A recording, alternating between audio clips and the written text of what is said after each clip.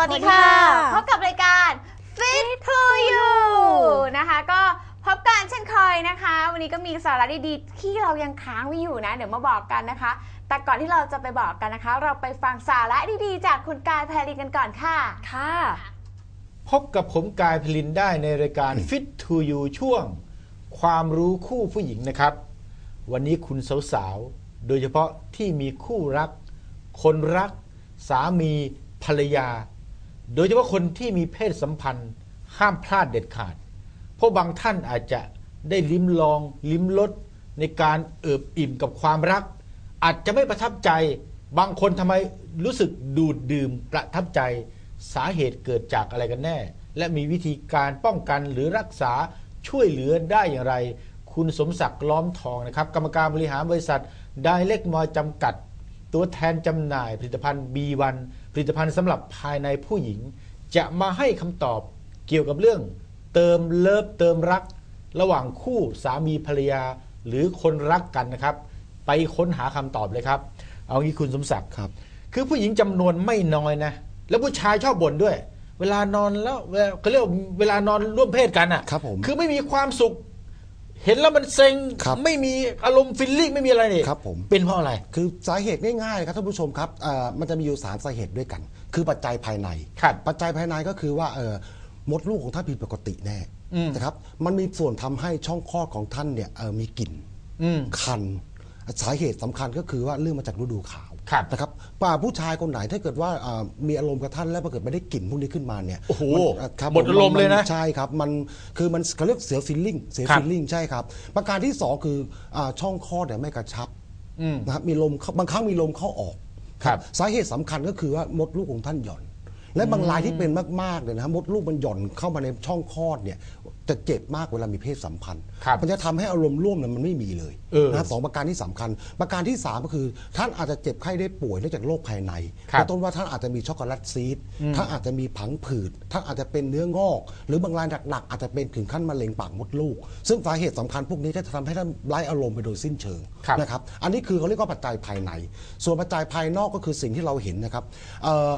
ผิวไม่ขาวไม่เนียนไม่ใสดูนะไม่มีออร่าครับผไม่เปล่งปลั่งเลย ค้ำบางครั้งหน้าอกหย่อนไม่กระชับจับตรงไหนเหลวตรงนั้น ไม่น่ากอดใช่พูดครับง่ายๆไอ้ตรงนี้ก็คือเป็นปัจจัยสำคัญ ซึ่งซึ่งท่านผู้ชมเนี่ยเอ่ออย่ามองข้ามนะฮะครับ ตรงนี้ก็เป็นปัจจัยร่วมเหมือนอกั ย่าอย่าคิดว่าสวยแล้วจะจะยิงนะใช่ครับผม พวกนี้ต้องดูแลอย่างใกล้ชิด ถ้าใบหน้าท่านงามแต่ว่าผิวท่านเวลาถอดเสื้อผ้าถอดอะไรมาแล้วมันดูเหี่ยวย่นดูเป็น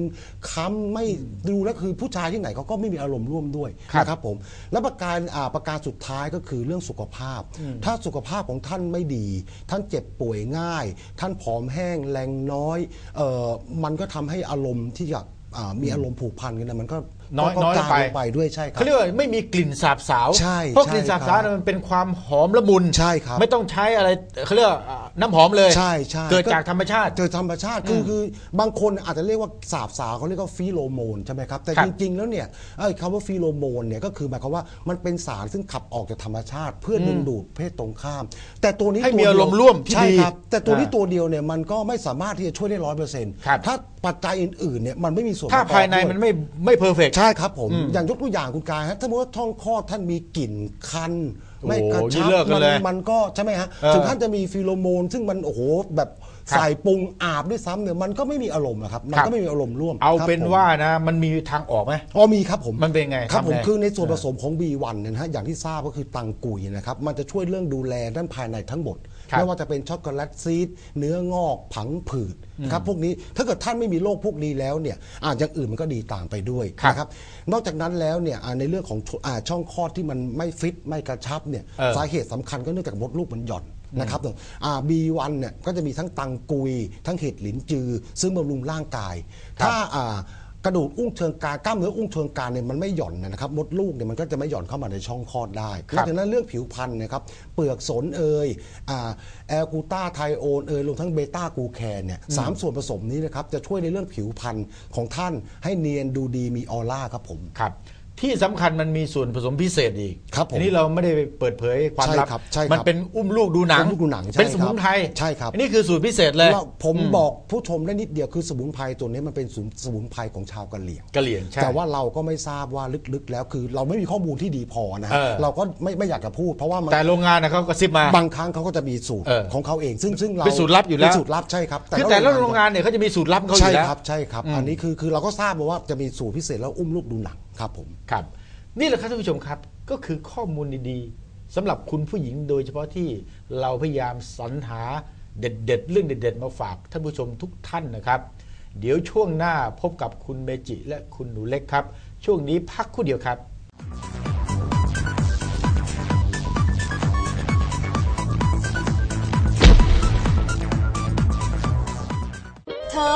เราน่ะกลัวอะไรมากที่สุดเธอรู้ไหมกลัวหน้าไม่สวยเป็นกะฝ้าสิวผิวไม่เนียนใสนะสิคะ ถูกต้องกลัวหน้าอกไม่อึมช่องคลอดไม่กระชับ มีกลิ่นเวลาร่วมเพศด้วยเธอ ถูกต้อง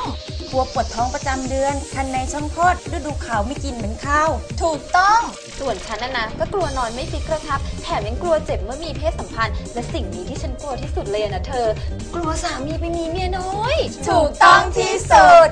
เมื่อผู้หญิงต้องผจญภัยกับปัญหาเหล่านี้ เลือกดีวันเพิ่มความมั่นใจทั้งภายนอกและภายในให้คุณสิคะหาซื้อได้ตามร้านค้าทั่วไป หรือสนใจเป็นตัวแทนจำหน่าย โทร 0856668347 0840999347 ชอบไหมภรรยาหุ่นอ้วนๆแบบนี้ ไม่อะ แล้วหุ่นตุ้ยนุ้ยแบบนี้ล่ะ ไม่ หุ่นสวยเป๊ะแซ่บเวอร์แบบนี้เป็นไง ใช่เลย โดน แบบนี้โดน แล้วไงอะ อยากมีภรรยาหุ่นสวยเป๊ะเวอร์แบบนี้ซินวี่สิคะ แค่วันละสองแคปซูลก่อนนอน อาทิตย์แรกเนี่ยก็เริ่มรู้แล้ว สนใจโทร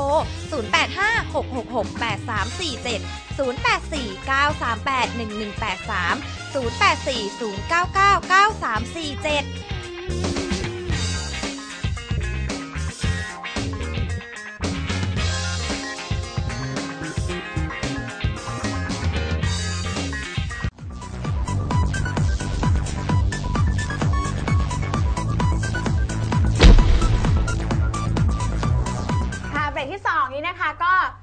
เหมือนกับอ่าที่เทปที่ผ่านมาเลย แต่ว่ายังเป็นเรื่องที่ อันนี้นี่ฉันเป็นเลยค่ะคุณเขาบอกว่าคุณไม่ควรดื่มน้ำเร็วเกินไปนะมันจะอันตรายมากเลย แต่แนะนำให้ทุกท่านเนี่ยคือที่บอกว่าดื่มน้ำวันละ 8 แก้ว บางคนก็ทีเดียวเลยไงจะได้ถึง 8 แก้วเร็วๆจะได้ไม่ลืมจัดหนักจัดเต็มปกันกติดื่มน้ำเยอะไหม ดื่มน้ำน้อยค่ะ แต่ว่าอย่างที่บอกกันว่าเวลาดื่มทีเนี่ยก็จะเหมือนกับว่าอ๋อ วันนี้ฉันยังไม่ถึง8แก้วเลย ฉันก็กระซวกเลยจ้าหนึ่งสอง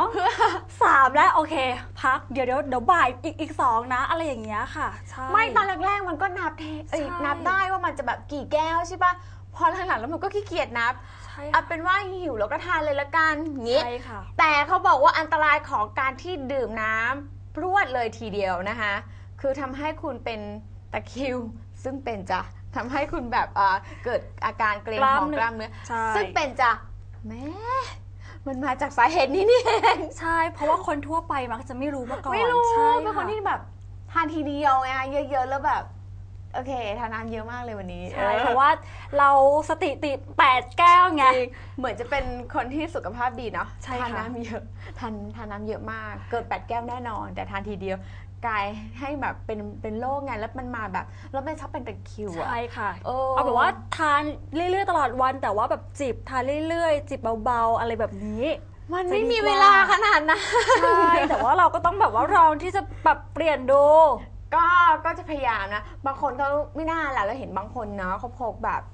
เขาเรียกกระติกน้ำ ใช่ตลอดขววัดนเราก็แบบน้ำเอ้ยกินทั้งวัน เออถ้าเป็นเราเราแบบดูถ้ากินทั้งวัน healthy อือะมดูใช่ สุขภาพดีโอ้โหพกแบบขวดน้ำเปล่าอย่างเงี้ย ใช่ ซึ่งเราพกอะไรกาแฟกาแฟ เฮ้ยนมเยงนมเย็น อันนั้นไม่เกี่ยว ไม่ไม่นับนะคะ ใช่ใช่ ไม่นับจริง นี่แม่ค้าจำได้แล้วนะ เดี๋ยวมันจะต้องมาสั่งใช่ซอสถ่านน้ำหวานอย่างเงี้ยนะคะ อันนี้ก็คำเตือนนะคะ ก็อย่าทานทีละเยอะๆแล้วกันค่อย ๆ ทานนะคะในแต่ละวันนะคะ เดี๋ยวนี้ก็ต้องเปลี่ยนนิสัยนะจ๊ะ เขาบอกอ่าอันนี้ก็เหมือนกันแดดอ่อนตอนเช้าคุณควรไปตากบ้าง ใช่ค่ะ เรียกได้ว่าซึ่งปไม่ระโยใช่ชน์ไงซึ่งไม่ใช่ไงเพราะว่าทำไมคะ เดี๋ยวดำตื่นตื่นไม่ทันหรือเปล่าอันนี้ประเด็นหลักใช่ค่ะ ใครจะรู้บ้างคะว่าแสงแดดยามเช้าเนี่ยค่ะเรียกได้ว่าอุดมไปด้วยวิตามินต่างๆ มากมายเลยนะคะเรียกได้ว่าตื่นเช้านิดนึงนะคะ คุณจะได้รับวิตามินยามเช้าเนี่ยที่เรียกได้ว่า คือธรรมชาติมากๆอะไม่ต้องหาซื้อเลยนะคะ เพราะว่า เมื่อคุณตักแดดยามเช้าเบาๆอ่อนๆแล้วนะคะ ร่างกายของเราเนี่ยก็จะหลั่งสารแห่งความสุขออกมานะคะแล้วก็ต่อต้านโรคซึมเศร้าต่างๆ ได้ด้วยนะคะ ซึ่งตื่นทันไหมไม่ ก็เอาเอาว่าตื่นมาก่อนแล้วแล้วเดี๋ยวไปหลับใหม่ก็ได้ เออโอเคโอเค เอาสักอาทิตย์ละสองครั้งละกันเออ สามได้ปะยากนะสามสามได้ไหมคะต่อยากต่อรองนิดนึยากจริงงยากจริง ใช่แต่ว่ามันดีจริง ๆ ค่ะ ถ้าเกิดว่าใครแต่ตื่นทันก็ลองดู แต่ก็จะมีหลายคนที่ที่เขาได้รับแดดตอนเช้าก็จะเป็นพวกที่เอ่อออกกำลังกายตอนเช้า ใช่ค่ะ สังเกตเถอะคนที่ออกกำลังกายตอนเช้าจะหน้าเด็ก ใช่เนอะ บางครั้งอะเราจะแบบว่าทำไมออกกำลังกายตอนเช้าแล้วแบบดูดูเด็กกว่าเราล่ะ เราเนี่ยทั้ง เอ่อทั้งแบบว่ากินแน่นน้ำเยอะๆก็แล้วน้ำแน่นใช่น้ำแน่นก็แล้วแล้วฟิตก็เนแบสบจัดเด็กตอนกลางคืนใช่ตอนกลางคืนจ้าอืมโหมหนักเลยเลิกงานนะคะนะเราทั้งแบบว่าเออจะเรื่องของอะไรล่ะเครื่องสำอางเราก็แบบคือไม่ว่าก็เต็มทำอะไรอะที่เราก็ใช่ทำตามหมดแล้วค่ะ แต่ว่าผลผลออกมาไม่ใช่ คือเขาก็เลยบอกว่าเวลาที่คุณตากแดดตอนเช้า ออกกำลังกายตอนเช้าทำให้คุณสุขภาพดีกว่าคนตอนเย็นแล้วนะ